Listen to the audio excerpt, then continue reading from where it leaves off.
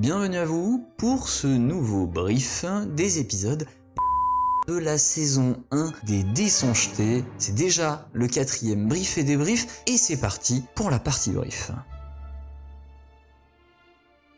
Alors, ça y est, on l'a dit dans le débrief précédent, ils ont cassé le scénario. Euh, C'est-à-dire que là, euh, ils ont précipité les choses de manière euh, plutôt dramatique, il n'y a pas d'autre mot. Prendront donc cette session de tournage dans la situation dans laquelle on les a quittés à la fin de l'épisode 16. C'est-à-dire que des malfrats les attendent à la sortie des égouts. Kratel, porteur de la torche, a glissé avant de tomber tête la première dans les eaux usées et de plonger ses camarades dans le noir. À la connaissance de leur manière de jouer jusqu'à présent, je pense sans trop me tromper que l'on peut envisager la fuite comme une option viable. Soit ils opteront pour le fait de remonter en direction de la planque des abeilles, soit ils tenteront leur chance dans la direction des rats. Ou alors, dernière option de fuite possible, ils plongeront tous dans le courant des égouts, direction la sortie par le canal.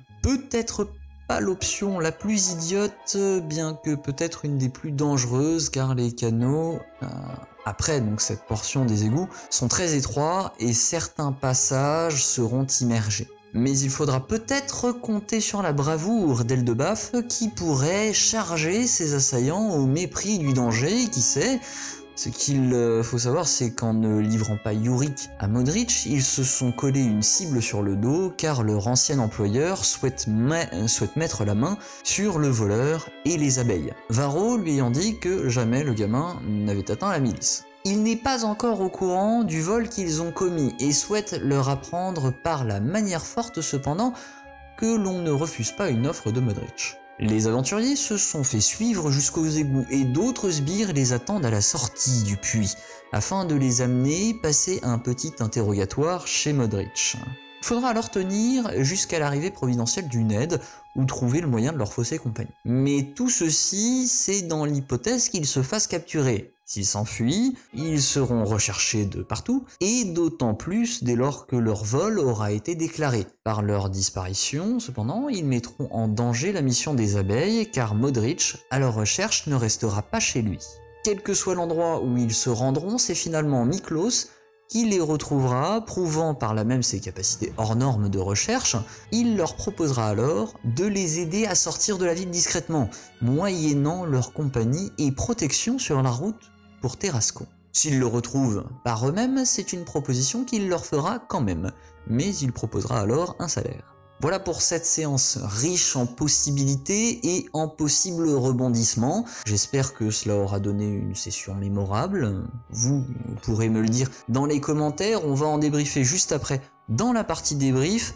J'espère en tout cas que vous avez apprécié les épisodes et pour ma part, je vous donne rendez-vous donc tout de suite dans la partie débrief avec un invité.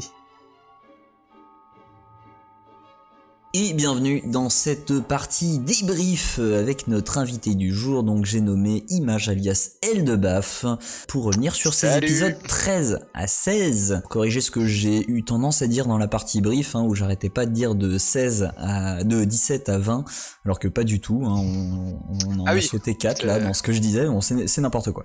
Comment tu vas? Mais c'était peut-être ce que t'avais. Ça, ça va C'était peut-être ce que t'avais prévu, euh, 17 à 20 euh, par rapport à l'avancée du. À l'avancée de notre, euh, notre quête. Vous êtes peut-être allé un poil plus vite que ce que j'avais prévu sur, euh, sur les, Ouais. les deux dernières séances. Enfin, On vous avez précipité certaines choses euh, On, plutôt on- on que, est, que- on est très téméraire aussi.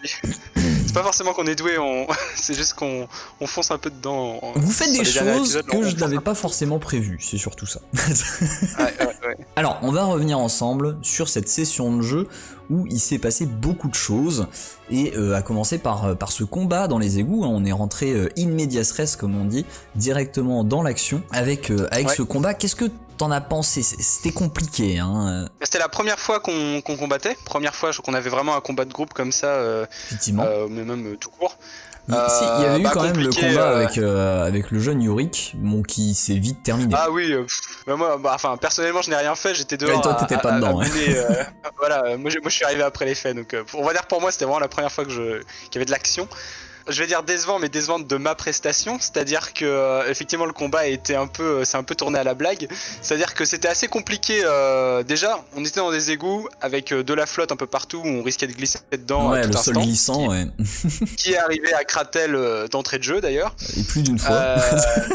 Et, bah, alors oui, euh, oui, ça lui est arrivé euh, deux fois. Il Ça est lui tombé, arrivait euh, déjà avant, en fait, quand vous exploriez, où il avait fait, enfin, il était un Oui, peu tombé oui, dedans. oui. Enfin voilà, c'était.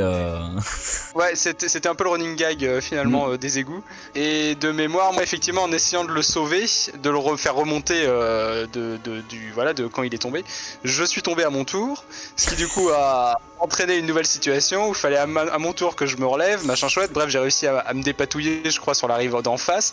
Le temps que je refasse tout le tour par le petit pont et que je revienne dans la bataille, on- je me suis aperçu que c'était plus trop possible Ouais. que je combatte parce Bah. que on était un peu à la queue leu leu euh, parce qu'il n'y avait pas de place quoi dans les égouts. et le combat spécial, était compliqué et vos adversaires ont fait Ouais. en sorte que, que vous ne puissiez pas les, les, comment, les, les prendre en surnombre. Ouais, les confronter euh, bien quoi. C'est ça. Donc c'était euh, c'était complexe. Vous étiez pas euh, à terrain découvert euh, là où toi t'aurais pu charger par exemple et prendre les devants euh, directement. Là en plus t'étais à l'arrière donc c'était vraiment pas simple. Et vous avez Ouais. pas du tout pris l'option de reculer. D'ailleurs euh, à la fin de l'épisode précédent. reculer. À la fin de l'épisode Ouais, précédent, ouais. toi, t'avais suggéré justement que euh, voilà, il faudrait, euh, il faudrait reculer jusque dans la zone du vieux en fait pour euh, pour pouvoir être un petit peu plus ça. à l'aise. Et au final, eh bien, tes camarades n'ont pas du tout reculé. Non, euh, pas du tout. Mais après, on a été, je crois, c'est le, le groupe s'est un peu scindé en, en deux parties. Parce que je crois que Mibi et Mayal, elles se sont un peu retrouvées euh, un peu sur la gauche, côté, euh, ouais. sur la rive Mm. d'en face. Là où Kratel, il faisait un peu bouchon à l'angle, euh, et moi j'arrivais derrière. C'est pour, ça que je dis bouchon, euh, parce qu'il était là du coup à, à combattre les gars. Il s'est même baissé, je crois, pendant le combat pour que je, je donne un peu des coups par-dessus, parce que c'était vraiment le bordel.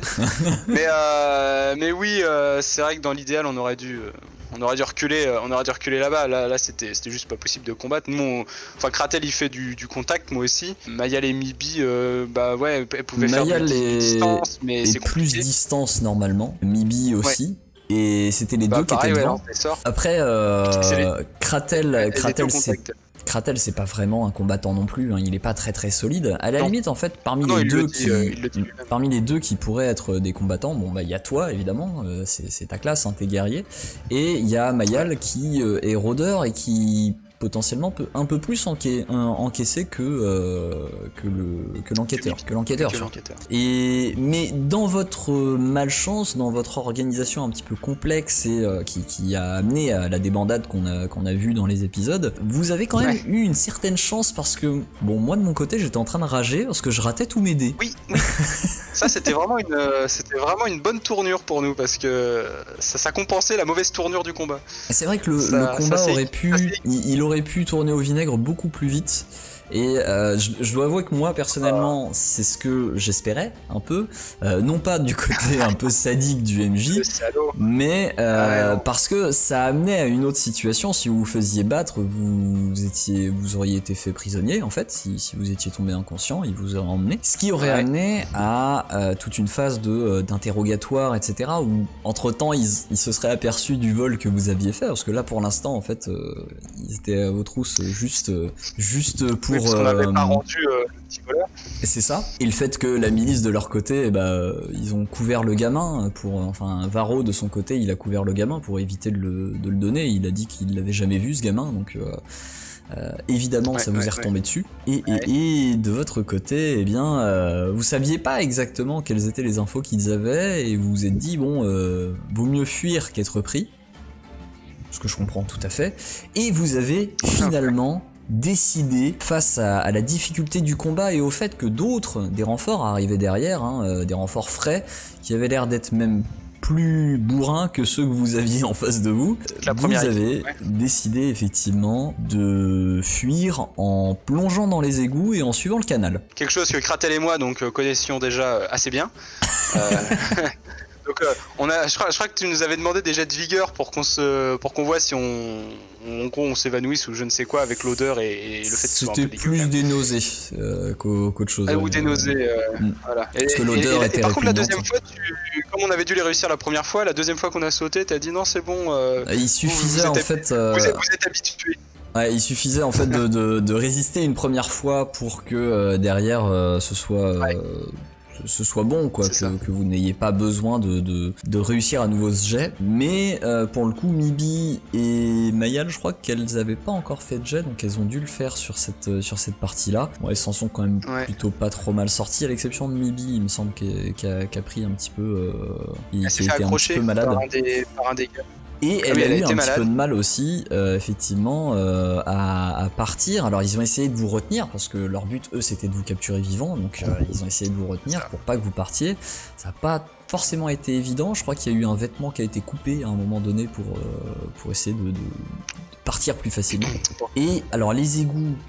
Pas si simple de partir par les égouts parce que euh, c'était euh, c'était une partie des égouts qui était complètement immergée. Il y avait des parties qui étaient complètement immergées où euh, il a fallu retenir son souffle, il a fallu éviter de boire la tasse, jusqu'à arriver à cet endroit un petit peu plus calme où vous avez pu vous poser. Et pour Mibi, petite scène un petit peu particulière, puisque de son côté, elle n'arrivait pas à, à remonter pour passer par-dessus le pont. Alors certainement la panique qui n'aidait pas forcément euh, son personnage à passer. Elle a fini par, euh, par y arriver, mais grâce à l'aide euh, de Dumbad, feu Dumbad, qui, euh, qui a Oui, retenu... Voilà, Ouais. qui a retenu un peu euh, les, les assaillants le temps qu'elle passe par-dessus le pont et alors qu'elle disparaissait dans le tunnel, elle l'a entendu eh bien euh, se faire poignarder tout simplement et mourir sous le coup de, de son assaillant tandis qu'elle euh, qu'elle voyait la lumière s'éteindre derrière elle. Triste scène. hein, euh, C'était le, le petit moment émouvant euh, à son arrivée quand elle nous a rejoint euh, dans la, dans, voilà, passage où il y avait plus trop de flotte. Ah, on fait pas d'omelette, hein. On fait pas d'omelette. On n'avait pas deux de toute façon, donc bon. non, c'est vrai. Mais c'est bon. Alors c'est un personnage que vous aviez jusqu'à présent un peu boudé, Dumbad. Vous aviez, euh, vous l'aviez rencontré. Il y avait une sans obsession avec plus. les rats. Voilà, bah c'était son lieu de vie, hein, les égouts. Donc euh, effectivement, pour lui, combattre les rats, euh, bon, c'était le fléau qu'il avait chez lui. Donc il avait besoin que, que vous l'aidiez là-dessus. Vous aviez choisi de passer outre euh, cette euh, cette Passage, quête, quoi, ouais. voilà. Et au final, eh bien, il n'y aura plus cette quête puisque Dumbad a disparu. c'est triste pour lui, mais c'est vrai que euh, pour le coup, si vous étiez parti de Ouais. l'autre côté des égouts, alors Dumbad serait certainement encore en vie parce qu'il n'aurait pas eu un- à intercéder. Mais euh, c'est surtout que vous vous seriez retrouvé potentiellement entre les rats et les assaillants. Je sais pas si ça aurait été une meilleure solution ou peut-être que les rats vous auraient euh, permis de faire un peu diversion en- pendant que vous vous ou euh, Ouais, faut voir la, la quantité de rats aussi, parce que finalement on n'a jamais été euh, trop regardé par là. Donc euh, on se rend pas compte s'il y avait un mur de rats, bon. euh, je pense qu'on aurait peut-être tous sauté à l'eau alors, et puis on aurait essayé de faire quelque chose. peut-être. Alors, il- Je pense que la je aurait été compliqué quoi. Je vais, je vais pas dire exactement combien il y avait de rats, on ne sait pas, peut-être que vous serez amené à revenir dans cette ville et à exploiter les égouts, on ne sait jamais, donc je vais, Ouais. je vais rien dire Ouais, là-dessus, je vais garder le secret. Mais voilà, vous, vous êtes... euh, donc on, on- on passe ce, ce, ce passage de, de combat euh, pour, pour s'intéresser un peu plus à votre fuite et à ce moment où vous êtes resté perclus de douleur euh, dans une autre partie des égouts, le temps un peu de reprendre un peu vos esprits, de reprendre un petit peu vos Faire points de vie également. Voilà, faire sécher vos affaires. Et vous Puis on saviez... attendait la, un peu la, le jour aussi pour pouvoir se, se barrer parce qu'on on savait aussi qu'on était recherché. Ouais. Donc si on partait des égouts euh, tout de suite, tout de suite, on risquait de tomber sur une troupe qui nous tombait dessus. Donc valait mieux se faire oublier un peu. Et Et puis c'est euh, vous saviez pas trop non plus euh, comment vous en sortir euh, jusque jusqu'à l'arrivée justement providentielle de Miklos. euh. Ouais, ouais, si, si, on était bloqué, ouais. On, était, on était bloqué. Alors, euh, il y, a- il y a eu justement ce passage où Miklos vous a retrouvé, ce qui vous a un peu inquiété sur le moment. Vous vous êtes dit, oh là, euh, qu'est-ce qu'il nous veut lui, avec qui est-ce qu'il est, etc. Vous êtes méfié. Ouais. Kratel s'est énervé, il a essayé de, Très, de très, très frapper. méfié, lui. Ouais, il a essayé de, de, de frapper euh, Miklos, de lui mettre un, Oui. un pain dans la gueule, hein, littéralement. Bon, il a échoué. les, interrogatoires. Oui, bah en plus, il était plus très vaillant euh, à ce moment-là, je crois. Hein. Ouais, et puis c'est pas son fort. Hein. De toute façon, c'est pas son fort de taper. Hein, euh. et moi, je, lui ai, pas donné un coup pendant le combat. Il y a plus une histoire comme ça. J'ai loupé un coup. Il y a un moment où effectivement, t'as foiré ton coup de masse et, il se l'est mangé et ça l'a même mis inconscient. C'est ça, Oui, si, si, c'est moi. Je l'ai tiré, je l'ai foutu dans l'eau pour, pour qu'on s'échappe. J'étais en train de me dire, il était inconscient à ce moment-là, ouais. C'est vrai. Comment ça s'est passé Il était, il était capoute, oui. C'était ta faute, effectivement. Ouais. désolé, Kratel, euh, désolé. si tu regardes. ça arrive. Et, euh, et, donc euh, Miklos qui est arrivé qui, euh, pour euh, essayer de, de, de, se faire un peu pardonner et euh, de gagner votre confiance, vous a prodigué quelques premiers soins, hein, quelques, quelques secours, voilà, ça, et, pratique, et vous a apporté sa solution pour sortir de là, une solution qui n'était pas forcément très élégante, hein, certes, de, de, se retrouver dans, le, dans la paille. ouais, vous étiez pas à ça près. Exactement, voilà. Et donc, qu'est-ce que qu'est-ce que t'as pensé toi à ce moment-là où euh, vous aviez rencontré Miklos et où euh, il vous a apporté cette solution pour vous en sortir? Bah, on était euh, de toute façon un peu, voilà, comme tu disais, on n'avait pas de solution, on, était un peu au plus mal, pas de pas trop de moyens de se soigner. On recherchait dans la nuit avec voilà avec des un adversaire puissant, hein, voilà les hommes de Modric, il en a quelques-uns. Euh, donc on était, euh, ouais, on était un peu mal en point. Donc euh, le fait qu'il arrive, bah, je comprends que Kratel soit a été suspicieux hein, de, son arrivée. C'est sûr que c'était, ça tombait, ça tombait bien. Et puis voilà, comment il arrivait à nous retrouver, tout ça, patiti patata.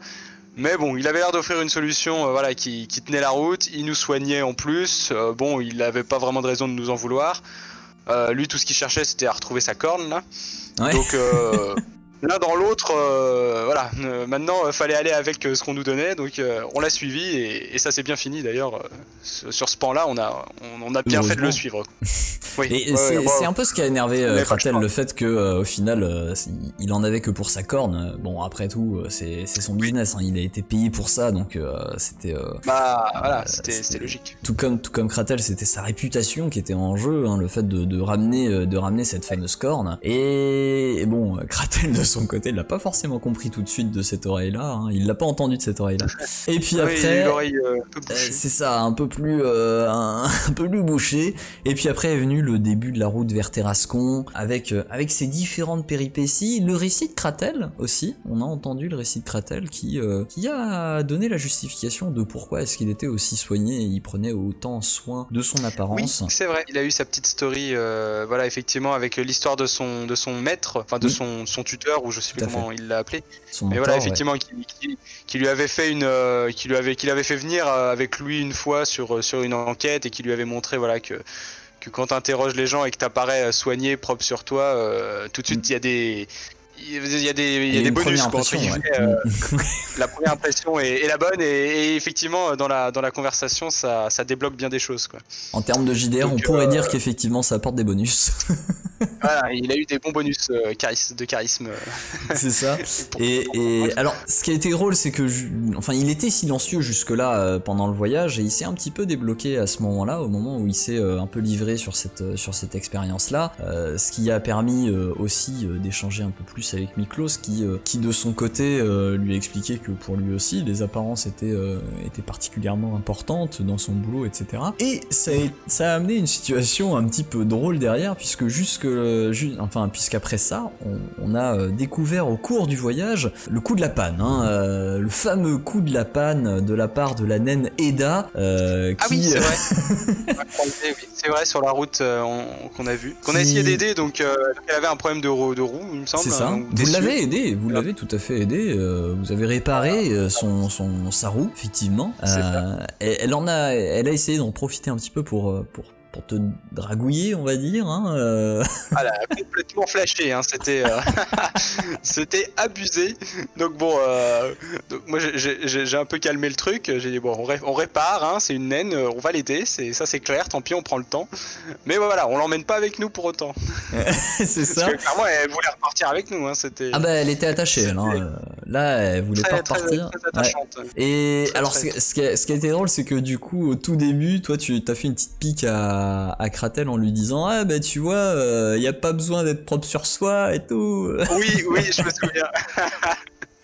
voilà, parce que finalement, oui, voilà, parce que pendant, pendant le voyage, justement, où il racontait son histoire sur euh, l'importance d'être euh, propre sur soi, bah, moi je disais qu'au final, euh, ça, ça changeait pas grand chose, que moi en tant que guerrier, de toute façon, voilà, pour taper, ça servait à rien d'être bien coiffé. Donc, donc au final, ok, lui il a peut-être ses raisons, moi en tout cas, j'en ai aucune d'avoir d'avoir des beaux cheveux et, une barbe soyeuse. Voilà. À part peut-être pour les, pour les fêtes annuelles, éventuellement. Je, je, pense que les, les, critères de, de sélection des naines sont un peu différents aussi de, ceux des, demi-elfes, hein, donc ça doit aider. C'est certain. C'est ça, et, euh, et puis derrière, bon, effectivement, vous avez euh, refusé à, Eda euh, le fait de l'accompagner jusqu'à Terrascon, la, laissant seule derrière avec son regard éploré, vous voyant vous éloigner au loin, un petit peu précipitamment pour, pour l'éviter le plus possible. Sa charrette était réparée, mission accomplie, merci Bibi. Hein. Ouais, c'est ça voilà, ça, suffit. Nous, on, on avait assez d'emmerdes comme ça, on était potentiellement poursuivis, on n'allait pas. Euh, il, fallait qu'on avance. Ça, c'était, certain. Et vous avez avancé, vous avez continué d'avancer jusqu'au quatrième jour de voyage, euh, où vous avez été pris à partie par des bandits de grand chemin qui vous ont attaqué. Alors un combat qui euh, s'est plutôt pas trop mal passé pour vous, hein, puisque. Ah bah, rien à voir avec les égouts. Là, c'est, c'était dégommage de dégommage de dégommage. Donc, le jour et la nuit. Oui, oui, le jour et la nuit. 6 ou 7, je me souviens plus trop. Euh, il y en avait le nombre exact. 3 au moins 3 qui tiraient à distance. Il y en avait, il y en avait 6, je crois. au nord, 1 à l'ouest. Mm. Voilà. Et peut-être 3 qui étaient au contact sur nous. Et, euh, et c'est allé assez vite. Enfin, ça allait assez vite. Ça... Disons qu'une fois qu'on était au contact, une fois, une, fois que moi j'arrivais à, à, bien mettre euh, mes coups de masse euh, là où il fallait, c'est vrai, vrai, que le, le, le, combat a assez vite tourné à notre avantage. Donc ça, c'était euh, c'était rassurant. On va dire, d'un point de vue personnel, j'en avais besoin. Par rapport au précédent combat. voilà, euh, bah, vous avez absolument rien fait à part blesser Kratel euh, dangereusement. Euh, oui, très clairement, là, ça, ça, remettait un peu de karma. oui, j'en avais besoin, voilà, de la confiance. Et tout. Donc un combat qui s'est bien passé, où, où, voilà, vous avez tous, tous été, été à la mesure de, de cet événement, hein, que ce soit, que ce soit toi, Kratel, Mayal ou Mibi, vous avez tous été de votre petite contribution. Également Miklos qui, qui a combattu également, qui a tiré avec, euh, avec son arbalète de poing et qui a fait, euh, fait retentir un petit peu son fouet, euh, son fouet à la Indiana Jones. Ikratel qui n'a pas fait dans la demi-mesure face à ses adversaires puisque ceux qui étaient au sol, il les a achevés sans ah commune mesure avec, avec aucune once de pitié. Ah oui, il était, ah oui, il était glacial le jeu. C'était vraiment ok. Alors moi encore, je, je, je, je, je tabassais, je tabassais au corps à corps, mais lui vraiment il arrivait. Alors je sais plus s'il a une épée ou. C'est une rapière qu'il a. une rapière, puis il finissait. Voilà. oui, mais même moi, même moi j'étais, j'étais un peu choqué vers ça. Je me suis dit, ah bon, il les tue comme ah, ça, ok, euh, sans euh, aucune forme de, de, pitié, de, justice. ah non, mais tout à fait, ah bah, sans aucune forme de procès, c'était euh, la justice froide et implacable, tel, tel l'enquêteur qu'il est. On, sent qu'il, bah, depuis le début de toute façon, hein, il, ne plaisante pas. C'est ce qui doit être fait est fait, et, et c'était bien fait. voilà. Pour, pour, le coup, on a, on a, on a ressenti la, la caution sérieuse du groupe là sur le moment. oui, oui, tout à fait. Comme, euh, comme il l'a dit depuis le début, c'est là c'était clair et net. C'est ça. Très, très, très sérieux. Et alors sur la fin du combat, euh, il y a eu un, un gnome. Un gobelin. Qui a popé un... Ah, un gobelin, pardon. Oui, pas un gnome, un gobelin. Bah oui, non, évidemment. Euh, c'est un gobelin, donc, qui sont, entre parenthèses, les... mes ennemis jurés hein, en tant que nain. voilà, c'est pas quelque chose que j'apprécie forcément. C'est vrai qu'il y a un trait des nains, euh, haine ah des bah, gobelins. Exactement, j'ai des, des, bonus pour, euh, pour les tabasser, hein, pour, pour parler en langage euh, donjon. euh, mais voilà, d'un point de vue roleplay, c'est pas mes potes, de très, de très, de beaucoup même. C'est carrément mes ennemis. Effectivement. Et le pauvre Drublic n'y a pas fait euh, exception, hein, puisque Drublic est ah bah sorti des fourrés pour prendre à revers le fuyard et, l'achever et, lui planter tout un tas de, de coups de couteau dedans. Genre, tiens, tiens, tiens. il était au surin, lui. C'est ça. Vraiment une drôle de créature. Et toi, d'un coup de revers, euh, d'un revers de, marteau magistral, tu, euh, tu l'as euh, exécuté. Sans réfléchir. Oh, ah bah, en plus, j'avais des, enfin, j'arrivais à faire des enchaînements maintenant entre plusieurs ennemis, donc euh, ce qui m'a servi d'ailleurs peut-être plusieurs fois pendant le combat. J'ai plus trop ça en tête. Mais alors là, fois, je, euh, sais plus si. Ouais, mais alors là, là j'étais tellement chaud, j'étais chaud, chaud, chaud patate, tel, tel un joueur de rugby à la 70e minute. Donc là, très clairement, il y avait plus de voilà, ici c'était on tape, on pose les questions après. Alors en plus, alors un gobelin. Euh, il aurait presque fallu qu'il intervienne après le combat en fait, qu'il te prenne à froid pour, euh, pour éviter que. Que ça descende un peu, exactement. Parce que là, alors là en plus, il est venu sur ma victime, parce qu'il est venu suriner euh, là mon, mon, dernier bandit. Donc alors là, le pauvre gars, alors là, il savait pas, il savait pas ce qu'il faisait là. Ah, il a tout pris. Il a fallu qu'il court. Oui, et puis, puis c'est ça en plus, j'ai pas loupé mon coup, donc ça, parce que j'aurais pu taper à côté, et puis bon, ce serait peut-être, ce serait peut-être passer autrement euh, par la suite, mais là. Non, là ça a été euh, euh, net, rapide, précis comme on dit, et ça a mis fin à ces, euh, à ces souffrances. Alors, on, on, arrive à ce point précis qui, euh, qui a vu donc la fin de la session. Euh, la prochaine session reprendra à cet endroit-là précisément. Qu'est-ce que tu penses qu'il va se passer toi par la suite? Qu'est-ce que ça augure selon toi pour la suite de l'aventure? Bah que là, pour l'instant, on, donc on cherche à, on cherche à fuir les hommes de Modric. Modric. Là, ce, alors ce, ce petit gobelin finalement qui avait peut-être des choses à nous dire ou à nous raconter, bon.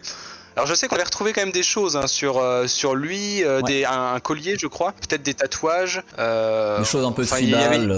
Il y avait, il y avait des choses. Donc, je pense qu'on va alors peut-être Kratel. Après je sais pas si Mayal ou Mibi ont des connaissances un petit peu en, en folklore local ou peut-être même en, je, voilà, des connaissances générales, mais euh, peut-être qu'ils vont, en regardant ça, ils vont peut-être pouvoir étudier et, dire euh, s'il appartenait à un certain clan, euh, mhm. si, je sais pas, il était peut-être un certain rang dans les gobelins, pourquoi il en avait après ce bandit, ça c'est aussi une question, parce que très clairement il en avait après le bandit. Donc est-ce que c'est un groupe de bandits, et là on les a eu tous, on les a tous butés, ou est-ce qu'il y avait peut-être un autre camp de bandits un peu plus loin, et oui, c'était un petit groupe qui s'était détaché, ce qui faisait partie d'une plus grande organisation, ça c'est possible. Mhm. est-ce qu'il y a une guerre entre ces bandits et les gobelins, on ne sait pas. A sûrement plein d'arcs narratifs là. Je, sens qu'il y a des choses, euh, il y a des choses probables et possibles. Bon, effectivement, j'ai peut-être désingué euh, le fil rouge qui permettait de, qui permettait de partir sur cet arc narratif là. On va, on va, on va enquêter, on va regarder un petit peu. De toute façon, là, euh, on va essayer de se faire un peu discret maintenant que, voilà, maintenant qu'on a quitté la ville, on va pas on va, essayer d'être un petit peu, je pense, euh, voilà, pas, pas, trop, pas trop dans les, dans les, dans les pattes euh, de Modric et des, des abeilles et de la milice et on va, essayer de se faire, voilà, de se faire oublier. Mhm. Donc je pense que par la suite, on va, on va peut-être un peu plus creuser cette affaire là, euh, s'il y a des bandits de grand chemin qui se, qui se manifestent dans la région, s'il y a une histoire, voilà, avec peut-être des, voilà, une une, troupe de gobelins. Euh, voilà, qu'est-ce qu'il faisait tout seul ce gobelin en plus Ça c'est ça c'est peut-être encore plus surprenant parce que les gobelins c'est rare qu'ils se baladent tout seuls. C'est plutôt euh, ils sont plutôt en, groupe, en horde. Donc là, il y, a, voilà, il y a, peut-être moi, je, voilà, mon, mon avis, c'est qu'on va, on va creuser un peu ce, on va creuser un petit peu ce, dans cette direction-là. D'accord, ok. Bon, bah écoute, euh, on verra ça à partir de l'épisode 17. Pour le coup, ce seront les épisodes 17 à 20 qui verront marquer en même temps la pause de mi-saison euh, de euh, des dés sont jetés, donc de la première saison des dés sont jetés c'est pas exactement, je sais pas exactement encore jusqu'où vous allez aller, si vous allez vraiment vous, vous attarder sur, euh, sur cette histoire de gobelins ou si vous allez filer jusqu'à Terrascon. Pour l'instant, c'est un mystère. Ça, les a surpris euh, les autres hein, quand même. Euh, oui. Mivi, Mayal, Kratel, ils étaient là. Oh, mais tu le butes Ça les a surpris. c'est un gobelin On va voir ce que ça. c'est ça. Mais c'était raccord par rapport à ton perso et euh, je le comprends tout à fait. Bon, moi j'avais de grands espoirs pour ce gobelin, hein, mais bon. Désolé. Tu as écrasé tous mes espoirs du, revers de ta basse et, euh, et nous verrons bien. Euh, les espoirs de Goldie, mon marteau. voilà. Et nous verrons bien du coup dans la prochaine partie qui pour nous est dans une semaine. Hein, nous le tournerons dans une semaine. Nous verrons ça, nous verrons la suite des aventures. Vous de votre côté, vous les vivrez également à partir de Hein, au moment où vous verrez cette vidéo. En attendant, prenez soin de vous. Euh, tous les lundis. Euh, C'est ça, tous les lundis 19h. Hein, euh, rappelez-vous, comme le dit si bien Eldebaf. Et en attendant, prenez soin de vous, surtout en cette période. Amusez-vous, mais n'oubliez pas, les dés sont jetés. Et à très bientôt. Salut Bye